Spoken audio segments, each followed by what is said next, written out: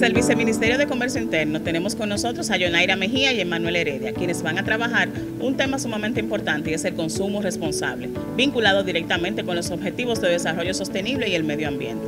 Con este, buscamos sensibilizar y educar a los comerciantes y consumidores en el correcto manejo de los desechos y el uso de productos más amigables con el medio ambiente. Gracias a cada uno de ellos por esta excelente ponencia y esperamos que puedan utilizar estas nuevas herramientas para garantizar un mejor consumo, mejor medio ambiente.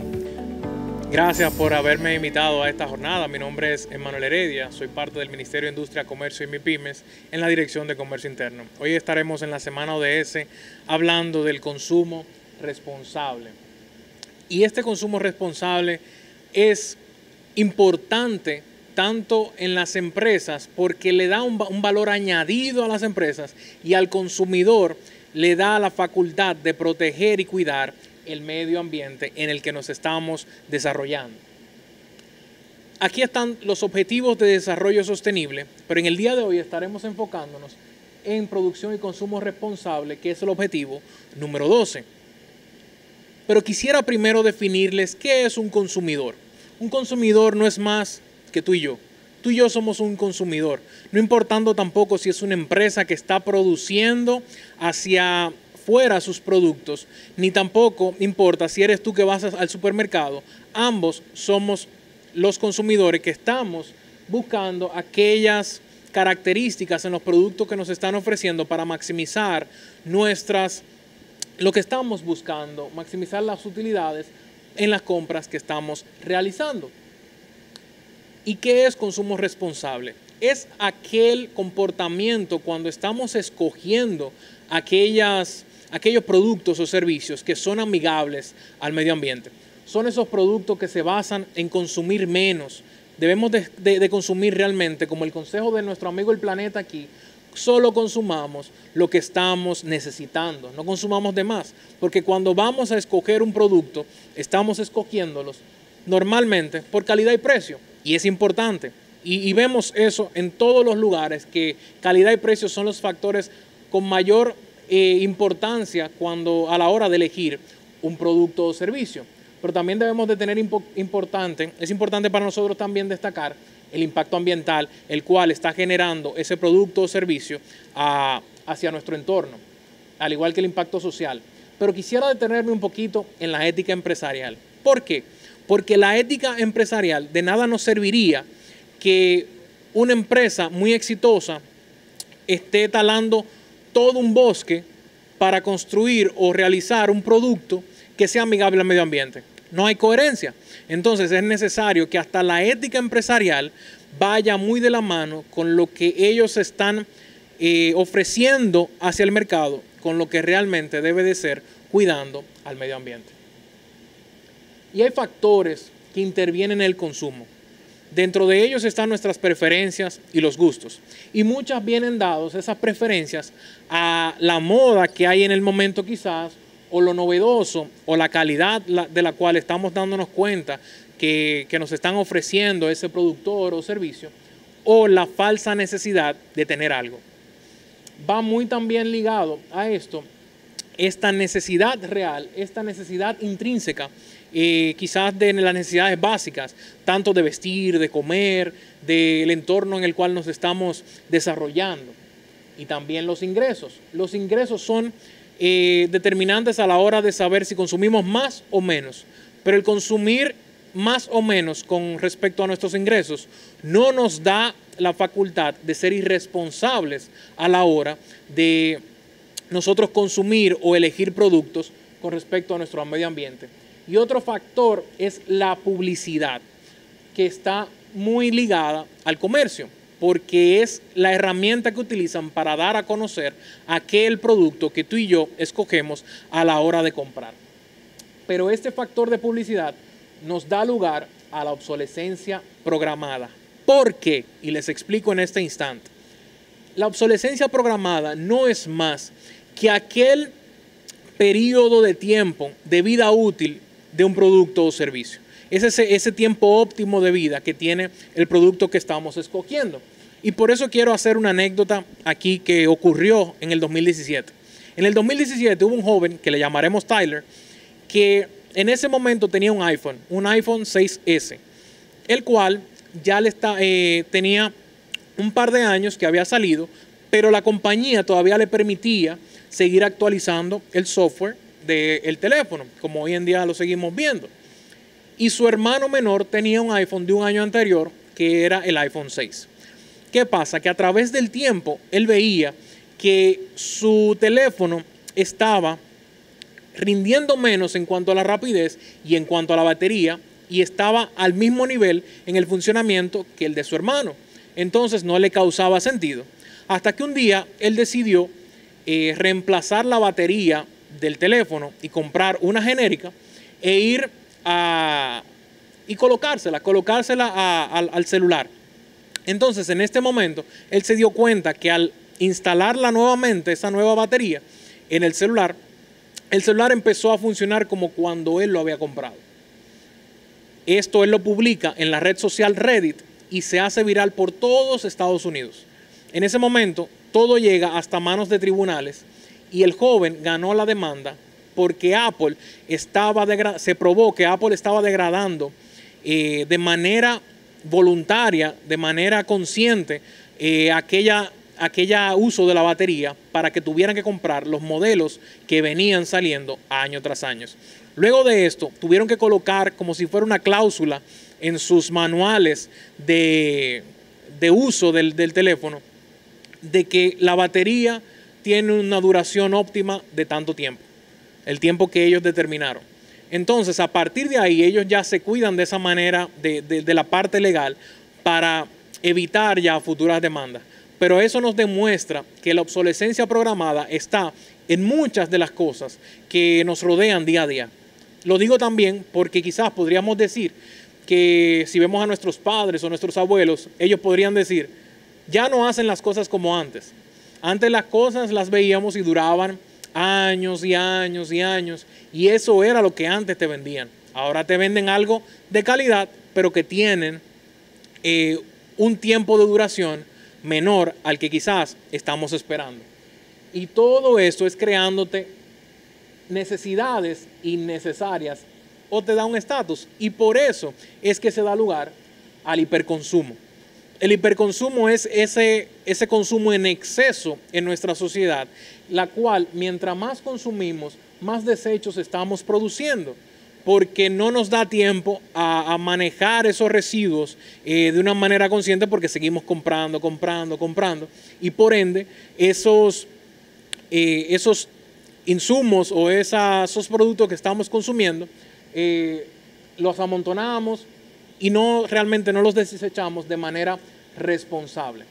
Estuve en una, en una conferencia, en un foro, en el 2019, de acerca de los ODS. Y en este eh, foro decían que la República Dominicana para ese momento estaba consumiendo tres veces más los recursos que teníamos disponibles. Esa era la tendencia de nuestra República Dominicana hasta ese momento. Hoy en día no sabemos cómo se ha sido comportando por la inestabilidad con respecto a las estadísticas en general por la pandemia, pero sería muy interesante seguir viendo cómo es el comportamiento, si se ha reducido esa tendencia o si ha aumentado. Sería muy interesante verlo a, lo largo del tiempo que nos resta continuar eh, viendo estos casos de estudio. Y por esto digo, cuanto más hiperconsumo hay, más rápido se afecta el medio ambiente. Y es por eso que tenemos que cambiar de una economía lineal a una economía circular. ¿Por qué? Porque la economía lineal nos plantea, tomo los recursos, los transformo, los utilizo y los desecho. Entonces, si estamos, eso es lo que el hiperconsumo incluso nos está poniendo delante de nosotros y esa obsolescencia programada también. Por eso tenemos que ser responsables a la hora de escoger los productos y también consumirlos.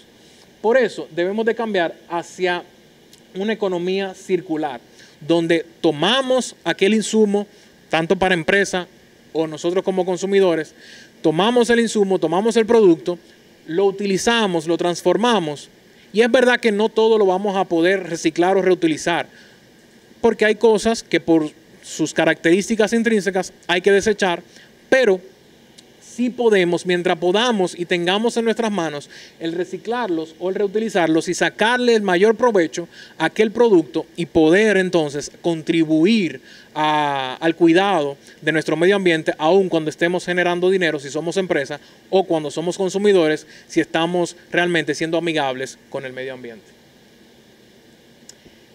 Y aquí es una realidad que todos vivimos. Todos vivimos y atravesamos la pandemia y muchas noticias bombardearon nuestro, nuestro entorno. Y quisiera comenzar esta parte diciendo que lo que nos salva a nosotros, o sea, la mascarilla, por ejemplo, no debe destruir lo que queremos salvar, o sea, nuestro planeta. ¿Por qué? Porque inclusive cuando vimos las noticias de que, por ejemplo, el canal de Venecia eh, de los canales de Venecia se estaban limpiando y los cisnes estaban volviendo durante, a, esos lugares que tenían años que no lo veían eh, por el tránsito humano, por los desechos que, que vertían en esos lugares. Y si los vemos en la actualidad, lamentablemente ya ha vuelto a estar otra vez el color de las aguas como estaban antes, un poco más oscuras que no se ve el fondo. Entonces, eh, quiero darles consejo también de, de cómo desechar la mascarilla. Por ejemplo, la mascarilla, hay otros productos, pero es el que más estamos utilizando aún post pandemia. Queremos ya salir de todo esto. y vemos que muchas personas sí la desechan de manera responsable, pero en la cadena de manejo de residuos sólidos, quizá hay un escape, a alguien se le sale una funda, se rompe y llegan quizás al mar o hacia los bosques. ¿Qué pasa? Que cuando eso sucede, o nosotros irresponsablemente las arrojamos a esos lugares donde no deberíamos, eh, las tiras que van eh, hacia nuestras orejas para sostener la mascarilla en nuestra cara, eh, se enredan en, los pies o, o en el cuello de estos animalitos y estos mueren.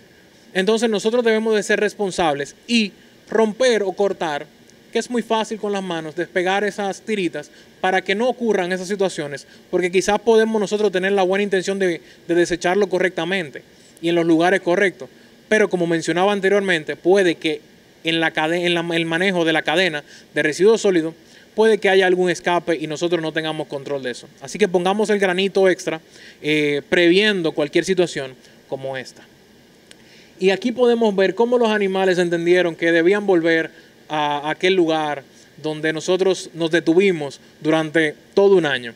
Durante todo un año estuvimos detenidos y ellos entendieron que debían de volver al lugar que quizás nosotros les robamos eh, por nuestras actividades cotidianas y por nuestra afán de producir y de crecer como sociedad. Y podemos ver esta contaminación en el 2020, cómo estaba en enero y tres meses después, en marzo, eh, al norte de Europa, o sea, por Italia, cerca del norte de Italia, cómo se redujo esa, eh, esa huella de, contaminación que había en ese lugar. Es por esto que eh, debemos de entender que la naturaleza también nos está diciendo que debemos de cuidarla, debemos de cuidar lo que hay, porque es el único planeta que tenemos y es el único hogar que estamos en esta tierra. En este momento he finalizado mi parte y voy a, dejar la siguiente parte con mi compañera, Jonaira Mejía. Muchas gracias. Muchas gracias, Manuel. Muchas gracias a la eh, Subcomisión Prosperidad de los ODS del Ministerio. Muchas gracias a todos ustedes que nos ven por las diferentes plataformas. Gracias porque hoy en día tenemos un planeta. Hoy vamos a hablar sobre el consumo responsable. Ya Manuel eh, nos dijo lo que era el consumo se entiende por consumo, por la acción de utilizar o gastar un producto, un bien o un servicio, para atender necesidades humanas, tanto primarias como secundarias. Existen diferentes tipos de compra, entre ellas están las compras impulsivas o irracionales.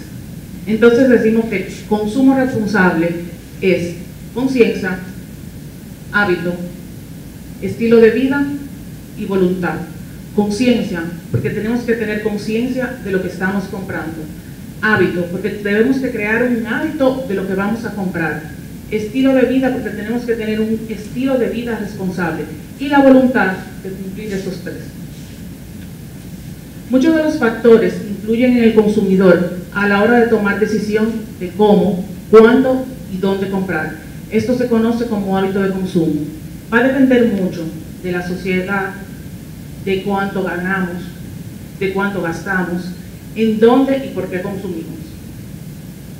Entonces dijimos que consumo es productos, servicios y bienes. ¿Qué ustedes ven en estas imágenes? En estas imágenes vemos, aquí hay una persona en un computador, pero tiene tres lámparas prendidas. ¿Qué vemos en estas imágenes? Aquí vemos a una persona en un computador y está usando tres lámparas. Eso es un consumo excesivo de luz. Aquí vemos una ama de casa pegada del teléfono, hablando. No sabemos cuánto tiempo tiene la llave del agua prendida, abierta. Aquí vemos a la persona hablando por teléfono, planchando con la plancha encendida. La tecnología nos roba mucha energía. ¿eh? Tenemos aquí personas tirando basura en, en la calle cuando estamos esperando a alguien, el carro encendido, la tala de los árboles y el super consumo, la super compra que hacemos, que no tenemos muchas veces dónde poner las cosas en la casa. ¿Cuántas ofertas llegan a nuestras manos? ¿Cuántas personas vemos y decimos, yo quiero eso? Es crear conciencia y comprar con conciencia. Lo que vemos en realidad, vemos nuestras playas llenas de basura, los mares llenos de basura. Cuando vamos a compartir con nuestros hijos en las playas, vemos cómo encontramos botellas, desechos, cómo encontramos basura en nuestros bosques, cómo en las calles está el humo por los carros, cómo las industrias y las fábricas dejan caer los desperdicios en las aguas. ¿Cómo está el, mundo? El mundo está así. Y ahora mismo, por el COVID, lo vemos así. Dice Víctor Hugo, produce una inmensa tristeza pensar que la naturaleza habla mientras el género humano no lo escucha. No estamos escuchando al planeta, no estamos escuchando su grito, debemos de salvar el planeta. No es medio ambiente, no es eso lo que queremos. Lo que queremos es un ambiente completamente seguro, un ambiente limpio y un ambiente amigable.